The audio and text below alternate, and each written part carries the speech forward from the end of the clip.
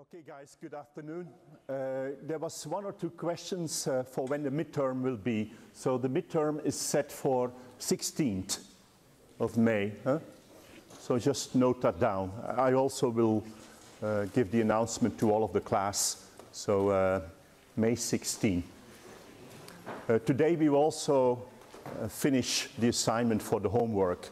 And that homework then will be due next week, Thursday. Uh, this week you also will start your uh, practica. Uh, any questions so far on the course?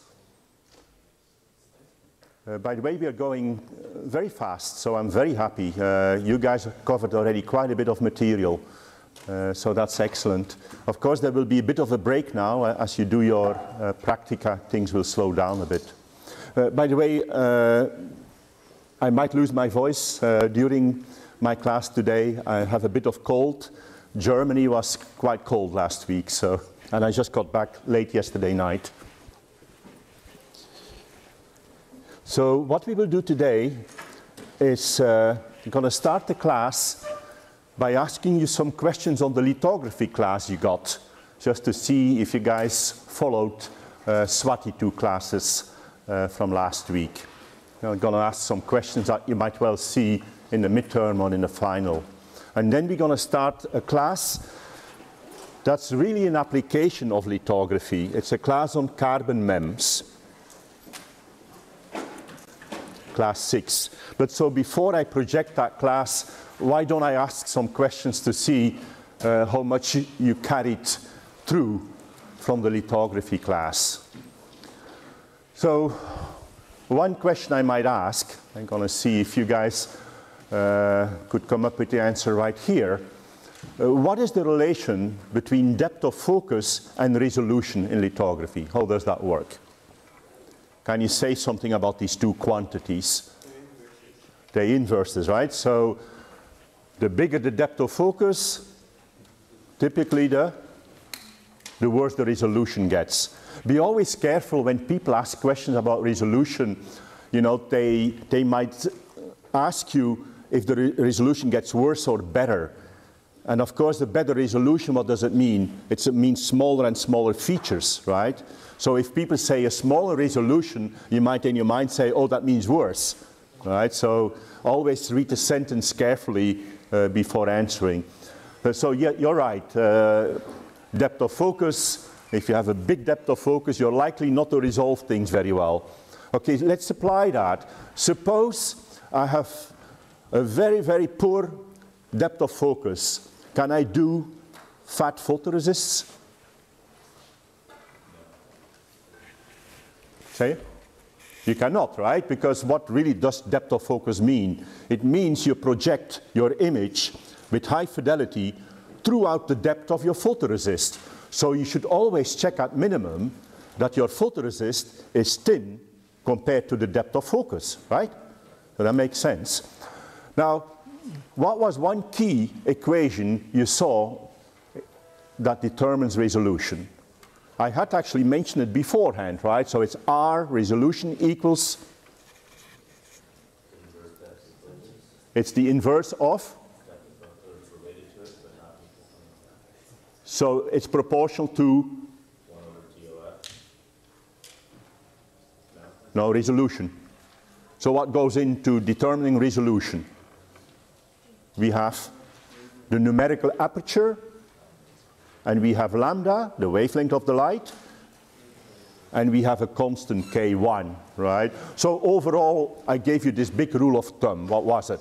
One rule of thumb was at 100 microns, we switch from CNC machining to lithography. Now, within the field of lithography, I gave you another rule of thumb in terms of the size of the features you can draw with lithography. That will be roughly what did I say?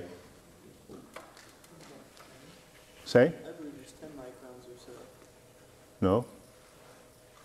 So it's a good rule of thumb to have. So if you have a certain lithography, ask at what wavelength are you exposing your resist. That wavelength will be very roughly the same as the size of the minimum feature you can create. Uh, so say you're using 196 nanometers, you could expect 196 nanometer resolution. In reality, it's better. In reality, you know, lithography specialists have become so good, they can actually do 10 times better than the wavelength of the light they're using. That's quite fascinating. That, that's actually what some of you guys might end up doing. That is getting more out of light than nature gives you. You know, that sub wavelength lithography, a very important field out there. If you Google that, you'll see plenty, plenty of activity worldwide. Sub-wavelength lithography, meaning you're getting more out of that wavelength, you know, than the wavelength. You can do maybe one-tenth the size of what the wavelength that you're using is. Uh, was there any other questions that you guys had about that class of lithography?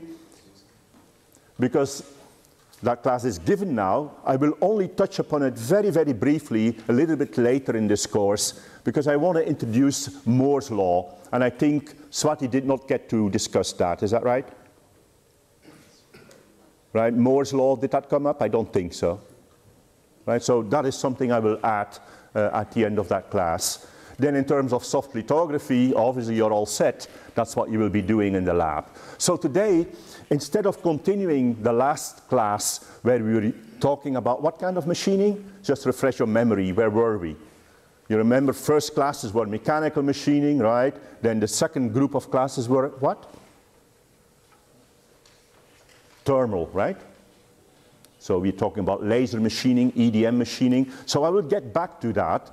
But because this class here on carbon MEMS fits so well with lithography, I decided to give it now. Because lithography is fresh in your mind, and we're going to do an application of lithography that you really, I think, will enjoy.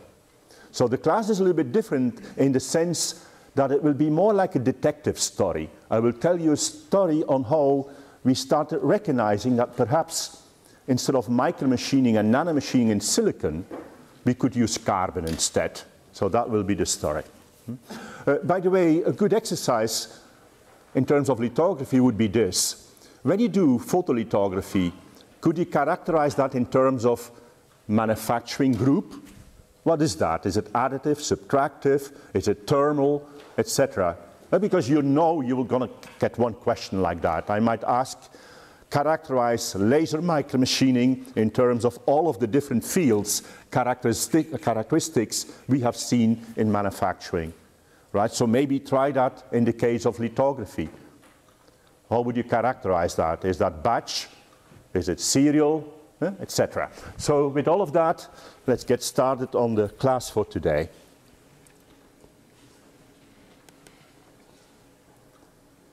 So as I told you, it will be a little bit of a different class, different in style.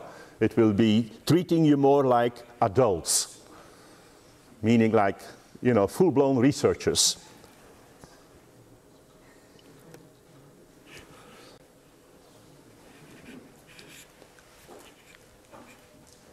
So, title of the class is Carbon MEMS, and I'm going to specifically use this carbon MEMS to make something that will look like a washcloth.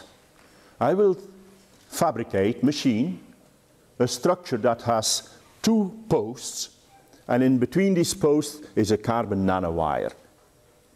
And in doing that, you will learn about lithography, you will learn about pyrolysis, you will learn about spinning. All manufacturing techniques you need to know.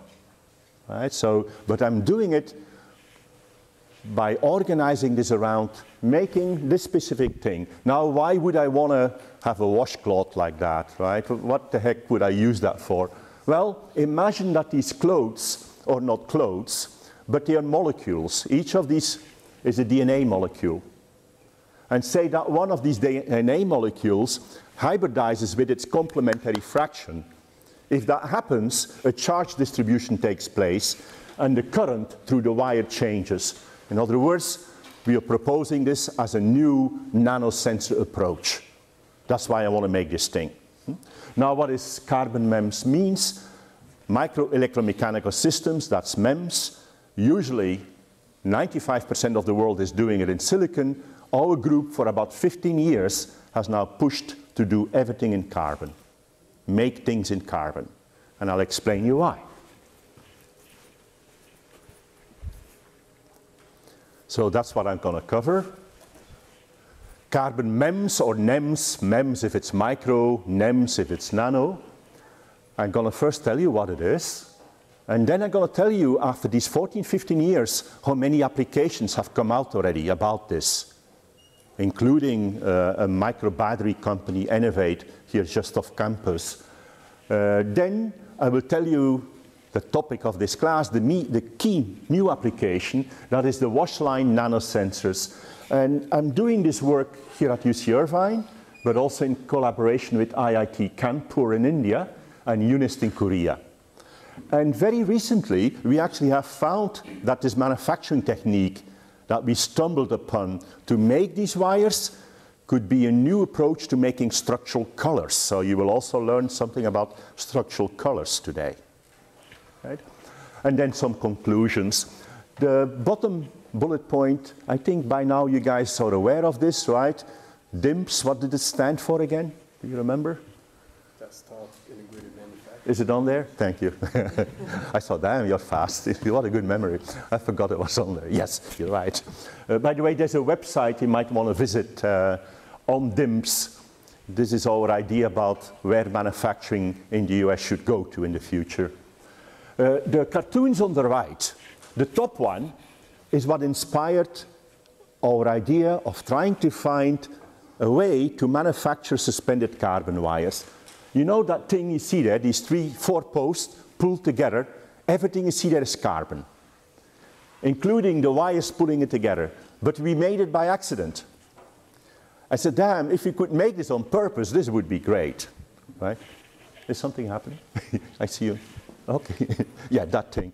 So it took us indeed about six, seven years to make this thing on purpose. We could get it by accident, but manufacturing you cannot do by accident, right? You should be able to reproduce it. And so I will tell you kind of historically how we eventually found a way to make that thing look more like you see in the second slide there, where you see looking from the top these posts, carbon posts, and the thin line connecting them is this carbon wire or wash line, and that's where we want to hang these molecules on. Hmm? The third uh, picture at the bottom is actually an example of structural color. And so let me tell you already, for those who don't know what structural color is. A lot of animals that we see out there have colors not because of a paint, a dye.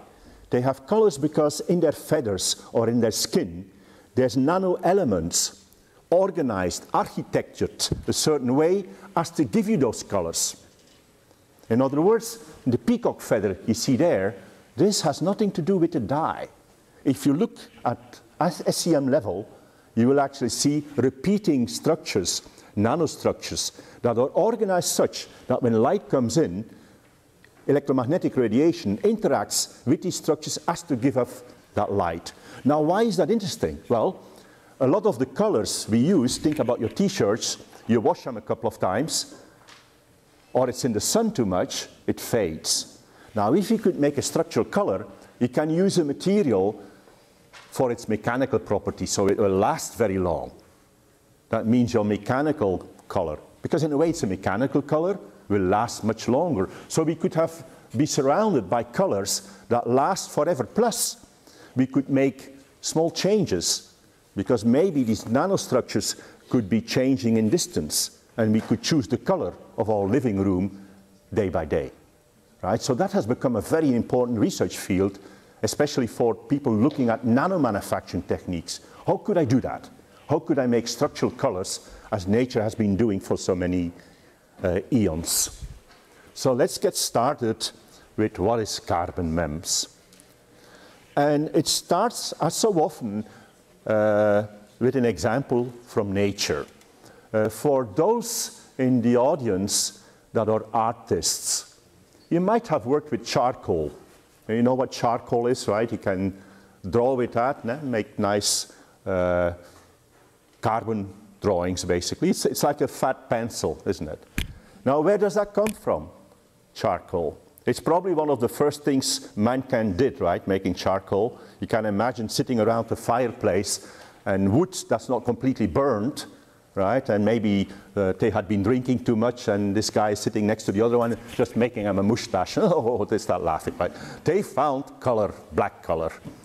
Now, how is that made? Well, you have on the left a twig of wood, and if you go from A to D, D is a blow up where you actually see the wood cells, the cellulose cells. Uh, keep that in mind. Now I take that piece of wood and I put it in a kiln. That's a 19th century furnace. Basically, what you do is pyrolysis or carbonization. So you heat wood at high temperature, but you exclude oxygen. Because if you have oxygen, you have CO, CO2, you burn it. You don't want to burn it, right? So carbonization is the process where you heat an organic precursor, such as wood, at high temperature. Hydrogen comes off, sulfur comes off, and that's the interesting thing about carbon. Carbon atoms like to polymerize with themselves. So the carbons reconnect, the hydrogen comes off, carbons reconnect. And the intriguing thing is, and that was my student Benjamin Park, he took a piece of pyrolyzed carbon on the right, and do you see these hexagons in there? What does that remind you of, these hexagons? These are the same as the hexagons in the wood. When we saw that, we said, wow, that is amazing. Because you're going to 900,000 degrees C. And the structure in the wood is preserved. And that gave us the idea. The idea was this.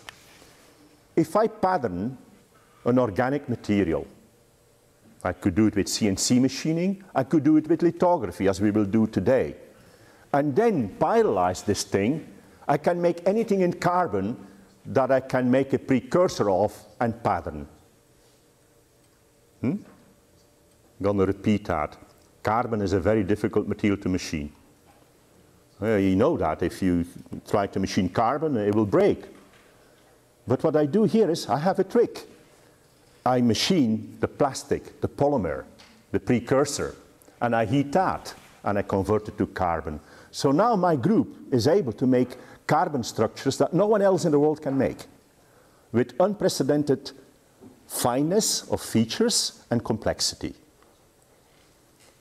Hmm? So now comes the application of the class on lithography. That's what he told you all about. So we go to the first picture there, A on the left. I have a substrate, put on a photoresist, and I expose the photoresist with UV light through a mask that has holes. Now I'm going to tell you it's negative tone photoresist, so you remember from that class, what does that mean? Where light strikes the photoresist, you have one other choice. negative. photoresist. Yeah, it's the opposite. Eh? So when you have negative photoresist, it polymerizes more, becomes stronger. So where light hits, material forms. And where light has not seen the material, you can still dissolve it away. So that means that after exposure, what do I have? I have that substrate, maybe silicon, with posts, polymer posts. Now these posts are still polymer, right? They are this photoresist, in this case called SU8. Now comes the thing that we did that no one else had done. That is, we just take these SU8 posts from here and convert them into carbon. And look what happens. The shape is preserved. Just like the shape from the organic cell is preserved in the carbon, the shape of the post is preserved. So in other words, things shrink, but they shrink isometrically. That's another bonus, isn't it? Because you might do microtechnology, but shrink them into the nanotechnology.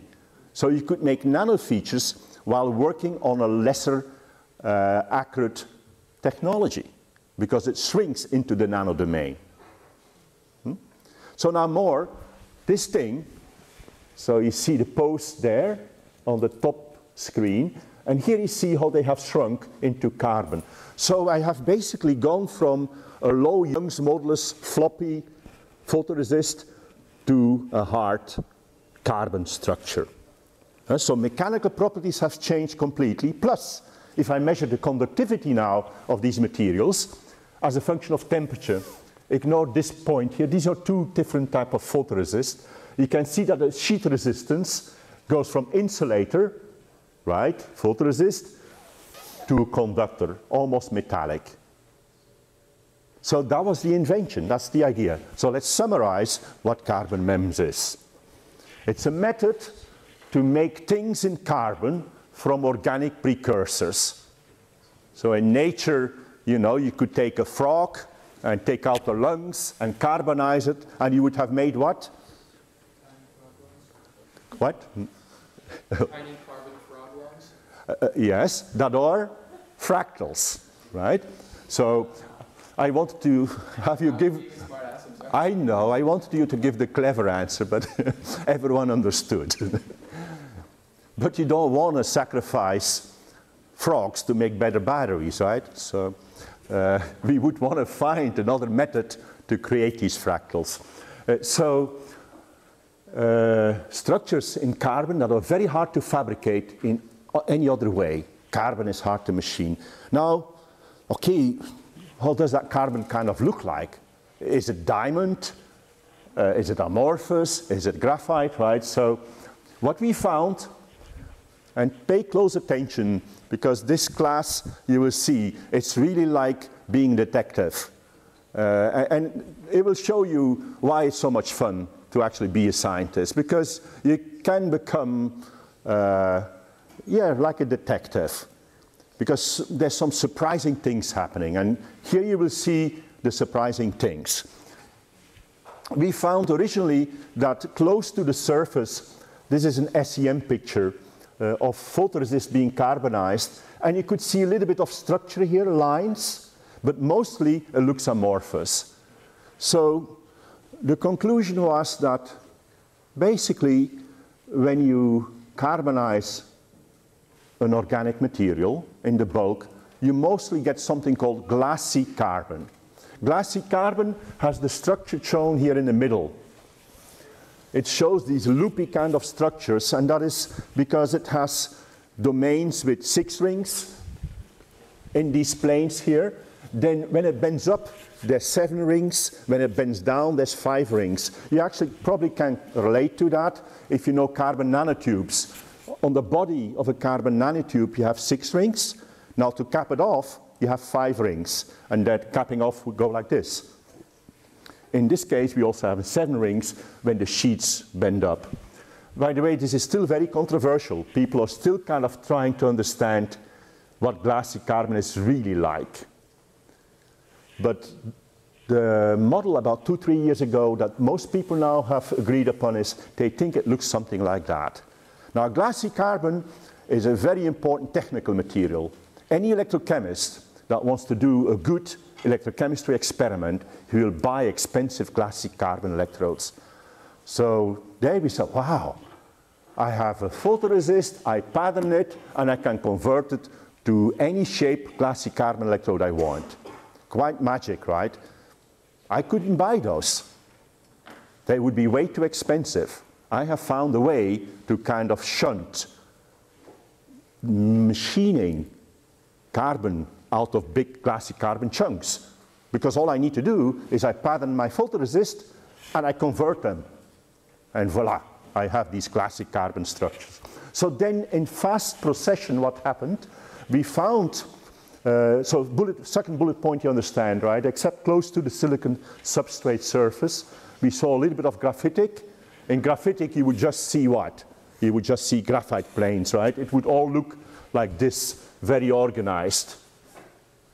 And we only saw that close to the surface. In the bulk, it was glassy, like, like this. Now, electrochemically, we found quickly that this material indeed behaves like these glassy carbon electrodes you buy. And so here you see cyclic voltammogram where we cycle the voltage and monitor the current. And this curve is for a commercial bought glassy carbon, and this is for our fabricated carbon. In electrochemistry, people want to see, want to see these two peaks, they're called redox peaks, very close together. What that means is that carbon gives and takes electrons very reversibly. And so we found that our material derived from a photoresist behaves as good, if not better, than the carbons that you buy so expensively. Then we worked with Bruce Dunn at UCLA, and we found that that carbon can also intercalate lithium. What that means is lithium can go inside the material, and that is the basis of your battery in your uh, cell phone. These are lithium ion batteries. And so even at a very early stage, we said, oh, wow, we might actually have a new way of making lithium ion batteries. And it's one of the many applications that indeed have, have been realized. But so, so far, remember mostly this, that if I convert that polymer into carbon, I end up mostly with glassy carbon. So make a note of that, because then you, you will later see, huh, maybe not. Maybe it's not always true. And that's what makes you think, right? You, you, have this notion, it ought to be like this because the professor told you or you read it. And then suddenly it doesn't work out. That's when it becomes fun because you know something else is going on. But so, so far, we believe we will get glassy carbon. So a little bit more. We know that the material shrinks, right? You saw that uh, when these posts or in the polymer shape, if I heat them, they heat, uh, they heat, they shrink. So the shrinkage from polymer to glassy carbon is very substantial. And for the smallest structures, and now this is the second point I want you to pay attention to. What I'm plotting here is roughly on the left side is percentage of shrinkage versus the height of SU8 posts. So you remember these posts here? These posts. And so now I'm making them in a variety of heights. This is the height of these posts. And on the left is the percentage of shrinkage. And look what you see. If the post is about 300 microns, the shrinkage is, let's say, 60%. But what is so intriguing is that the smaller the feature, the more it shrinks. Look, if I have something that's, let's say, 10 microns, 2 microns, the shrinkage is as much as 80%. And so we were very, very, very happy about seeing that. Hmm? So, so far, remember two things. You expect for small features the shrinkage to be as much as 80 to 90%, and you expect this carbonization to lead to mostly glassy carbon, right? See my second bullet point, I couldn't tell it enough. Remember this because it will be very important to follow my story here today. Uh, by the way, the, in blue every time, these are papers uh, that we published on the topics I'm covering. So I hope this class convinces you that micromanufacturing, nanomanufacturing, advanced manufacturing is more than theory and learning a whole bunch of things. It leads to really fascinating new research results, you'll see. So a little intermezzo before I go back onto my story of making that carbon nanowire. These are the applications that have come out of this work so far. Smart batteries in any shape. Suppose that you have a ball, and if you buy a battery now, you will buy a rectangular battery. A lot of space is wasted. But in my case, I can make the battery any shape because I remember, remember I start from a polymer. So I can make a polymer ball, convert it into carbon, and voila, I have a, a you know, a spherical battery. So we can make batteries in any shape. We also, and I will not go into details, can charge this, sorry, charge them faster, and we can reconfigure them. In other words, we can set them up uh, for the smartest power uh, consumption. If you have high current or uh, high voltage need, you can switch the configuration of the battery elements. So you could call it power management is within the battery. And you can check, there's a, a company on the web now, Enovate, that came out of this research group with several of our uh, UCI students uh, that are building this lithium ion battery. Second bullet point, uh, so UCI and Enovate as people involved in the battery. In redox amplification, we are using these electrodes to make a new type of amperometric sensor that can be maybe as sensitive as an optical fluorescent-based sensor. There it says we have seen amplification of the current as much as 27. Uh, by now, we are more than 40. So in other words, if I use a regular sensor, I get current 1. If I use this kind of redox amplification sensors based on carbon MEMS, we can go up to 40 times the current level. A very, very good uh, development. So much so that we think that these sensors, they could be made small enough and pick up uh, neurotransmitters uh, inside biological cells. And that's one of the applications they're working on in Lund in Sweden. Uh, and we're also developing this work at UNIST in Korea. We also have done 3D dielectrophoresis, where we have higher specification efficiency for separating uh, white and red blood cells. That's done at UCI and EPFL. EPFL is in Lausanne, Switzerland. I will not go and I will not ask you to know each of these applications unless you guys are very interested and want to check it out by yourself. But I guess you all know what a battery is, right? So we also have worked uh, here at UCI uh, on using this carbon approach for fuel cells, and we have a couple of publications on that. With Jan Schroers in Yale, we use our carbon MEMS for molds. But so that's all uh, out there. What we are now interested in is this making suspended carbon nanowires for making these wash lines. Hmm? So, and we succeeded. It was published in Nanoletters last year, March. You can actually see here that we wrote continuous for an hour. We can write polymer lines on any substrate, 2D or 3D, and then convert them into carbon. But it took a long way to get there. How do you do that? How do I write continuously these nanolines? Uh, some of the people in my group, uh, at one point at least, were hoping to set up a company around this. Unfortunately, they found a job at Intel, and the idea is hanging there now. I hope someone else picks it up, though. Anyway, so now back into the story. What I want to make is that thing, right, on the top right there. And you remember when I made it originally, it was made by accident. So I need to find a method to fabricate, machine uh, that structure. I'm going to tell you now why I'm so eager to do that. What are the advantages of this suspended carbon nanowire? And I have the advantages listed here in a table. You can forget about this part of the table. You can even scratch it if you want. Uh, it's enough that you understand the left side of that table. And this tells you not only why carbon nanowires suspended as we do um, are so interesting. It will tell you also why are people really interested in nanotechnology? What's so great about a nanosensor, if anything? That's all in that table. So let's get started. This is a point, the first bullet point I actually already made to you several times. Look, a nanowire is almost all surface, isn't it, right? The surface to volume argument. If you have a nanowire, this thing is all surface. There's almost no bulk. Now, what is a sensor? A sensor is a surface that interacts with the environment and changes.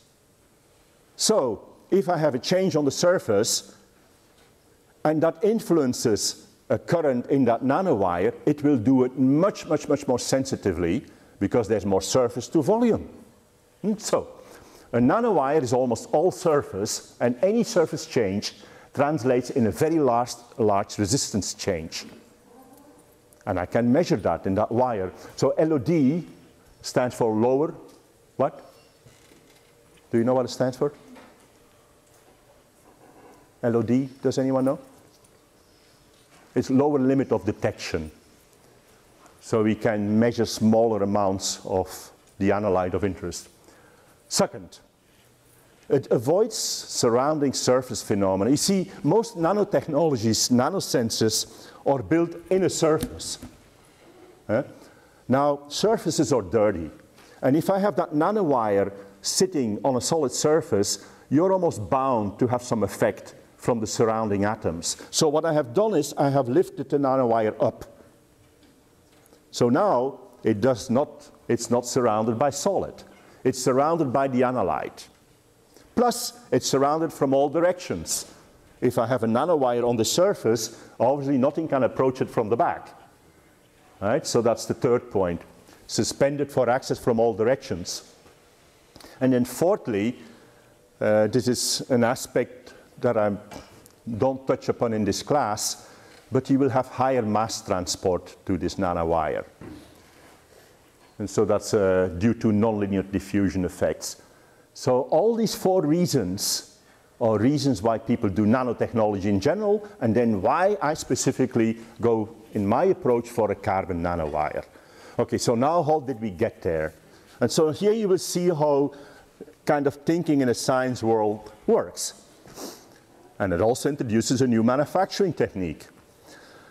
We have had, for quite a long time now, a, a strong collaboration uh, with IIT Kanpur uh, in India. Uh, actually working very closely with Ashutosh Sharma and Chandra Shekhar, who was at that time his student, and Chandra is now also a professor of one of the new IITs. And actually, that's Ashutosh smelling the roses or sunflowers on campus in IIT Kanpur. And in this collaboration, uh, I introduced carbon MEMS to how to do carbon MEMS to India, but they were introducing to me this field of electrospinning. Now what is electrospinning? And then we'll bring these two together. Because the mind works best when you're exposed to something new. Have you thought about that? The most interesting phase about knowing someone new, well, that's a dangerous statement actually, is the first couple of days. Damn, what did I say? but uh, okay, at least for science that's true, right? Uh, you meet someone and they suddenly explain something from a very different direction, right? And so here we have. They were doing something called electrospinning. Now, what that is, is you have a syringe. The syringe you fill up with a solution of a polymer. And at the end of the syringe, I mean, you have the needle tip, right? And say, here is the surface, here is my syringe, needle tip. And let's say I'm making this about 15 centimeters. I apply a very big voltage between this tip and the substrate. At a certain voltage, look, a droplet will come out, right, out of the needle. Now that droplet will look like a tear. Now when the electrostatic field is strong enough, that teardrop will start changing into a cone. That's called a Taylor cone there on the top. And that Taylor cone now issues a jet solvent is evaporating and a polymer jet comes down. Now that polymer jet very quickly kind of becomes unstable and you end up with a mess. You end up indeed with nanowires about 200, 300 nanometers thick, but it's a mat. And people have used this for ages. You can use it for making clothes, you can make it for scaffolds, for tissue engineering, and on and on and on. That has existed for a long time. So nothing new so far, right? Now, what was the new idea? Huh. Suppose I load this needle with SU8, the same photoresist we made these posts in. What do you think will happen? So as a scientist, you're curious, right?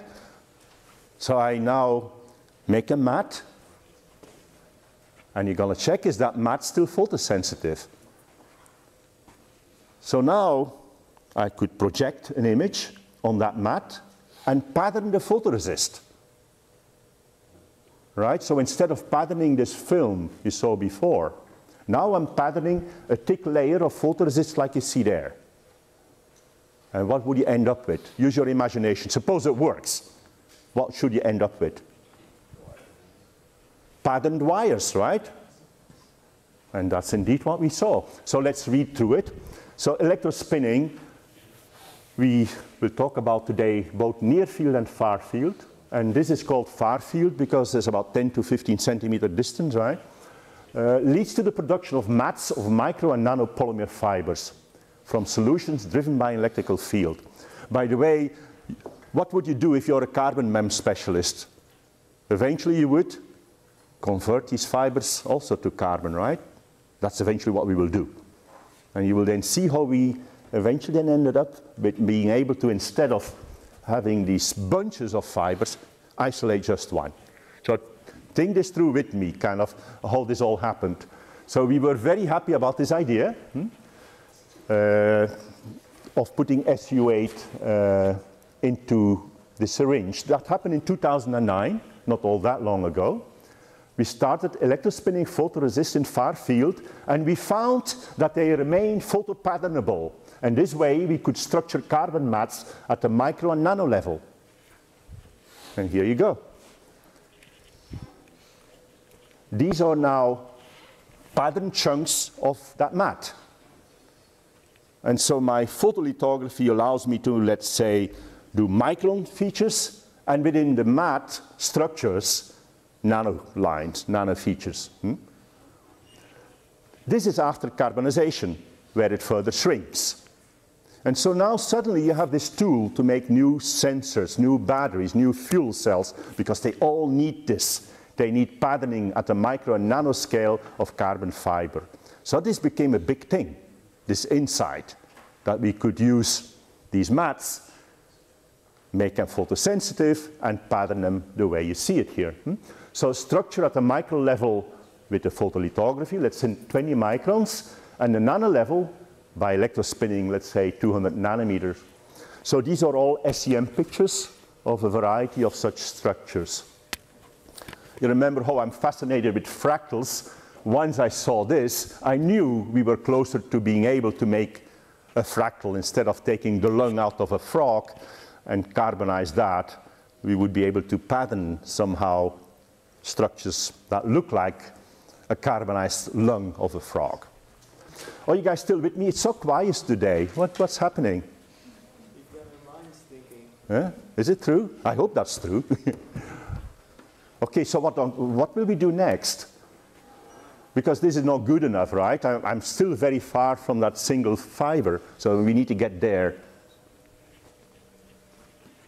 You want to know how it worked? Okay, let's continue. Uh, this slide I will come back to when I talk about structural color. Make a note that electrospinning happens at one viscosity. If you change the viscosity of that solution in the syringe, you can actually make bubbles, blots, balls. You do spraying instead of spinning. Just remember that, okay? I will need that later. So with that same machine, by the way, you can come see it in our lab when you do some of the experiments there. Please make sure you see that setup It costs 10,000 or $12,000. So we do nanotechnology with something that costs $12,000.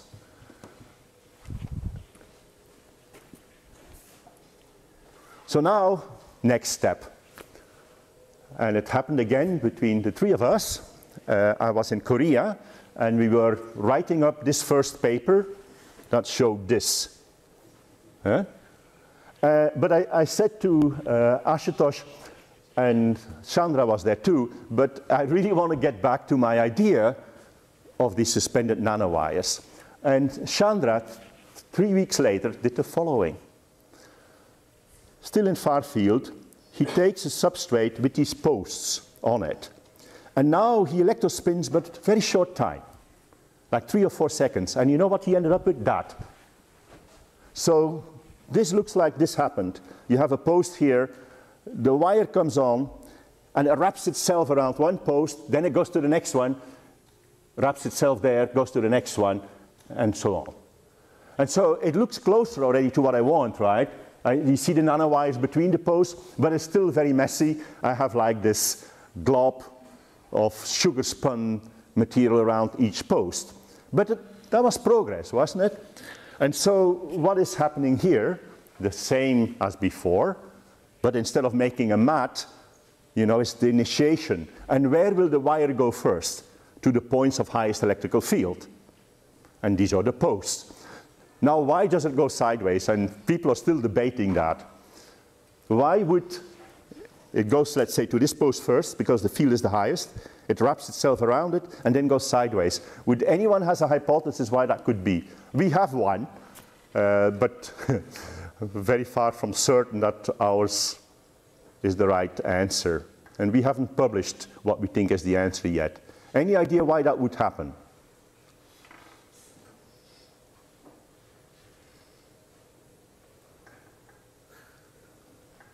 These are conducting wires, right? Not at this stage. Remember, it's polymer, right? But there's high electrostatic fields there. Yeah, is there any like inductive magnetic field? Not magnetic. Uh, They're not conductive, but there's charges. So there's electrostatic. So the model is this. This wire comes on the first post, highest electrical field, and then it wraps itself around it. What does that mean? Locally, the surface area increases. That means the field decreases. And it goes next to it because there's a gradient now. Field is lower here, field is higher next to it, and it can start traveling. And you can actually literally see it. It's really nice. See it hopping from post to post. It's like wiring itself through the post. So now we started being curious. By the way, we always converted that to carbon. And now we started being curious what is the structure of this material? Now, if you paid attention, what is your expectation of that wire? In terms of shrinkage, it should be more than 80%, right? And in terms of structure, it should be, yeah, neither are true. And actually, they both indicate something truly fascinating that actually could open up a complete new electronics world with electrospinning these wires. So is it time now already? Is it? What? One more minute. Okay.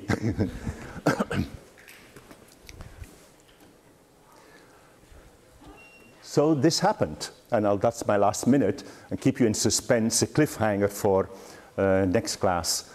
Uh, with my team in Korea, and that's Ashutosh Sharma, and that's Swati. Uh, Swati worked for me two years in Korea, and she found the following thing. So you remember how we did electrospinning, surface here, 10, 15 centimeters away, you have that needle. Now suppose you replace that surface by a drum. And that's what Swati did. So you, you use a drum, and now you come on with your needle, your electrospinning towards that drum. And on the drum, what we are putting there is this. We are putting, instead of two posts, two walls. And we are putting the fibers across that wall. Hmm? And so one day, Swati comes to me and she says, uh, Marc, this wire doesn't shrink as much as it should. Remember, it should shrink 90%, right? It only shrunk like 40%. I said, okay, that's interesting. Do TEM. And you know what she saw in the TEM? That I'm perfect graphitic. And so that is what we're going to come back to in next class. What has happened here? All of our expectations are violated. Doesn't shrink at all as we expected. And instead of glassy carbon, we are making graphite, pure graphitic wires. At 960 degrees C, you can only form graphite around 2600 degrees C. So something is going on, right? So let's continue this class uh, next. When am I teaching next? So tomorrow?